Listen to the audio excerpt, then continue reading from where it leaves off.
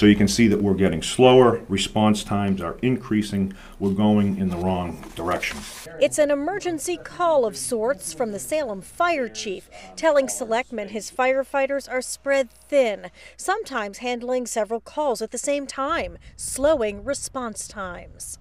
So almost half of our calls in 2017 have been simultaneous to each other. In a unanimous vote, selectmen supported the chief's application for a federal grant that will give Salem eight more firefighters for three years. Federal funds would pay most of the costs the first two years, a portion the final year, granting a total of one and a half million to the town and adding to the fire force of 60. 15 work a shift right now handling ambulance and fire calls.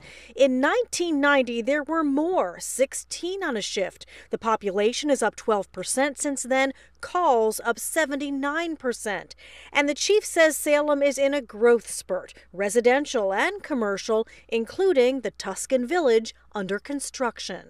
Six million square feet uh, of, of growth, mainly in retail in the past 25 years. Uh, you know, a 12% population increase, and, uh, and not to mention what's on the horizon for our community. And the fire department will find out this summer if it wins that federal grant. If not, the fire chief will ask the town to fully fund more firefighters. Live in Salem tonight, Jean Mackin, WMUR News 9.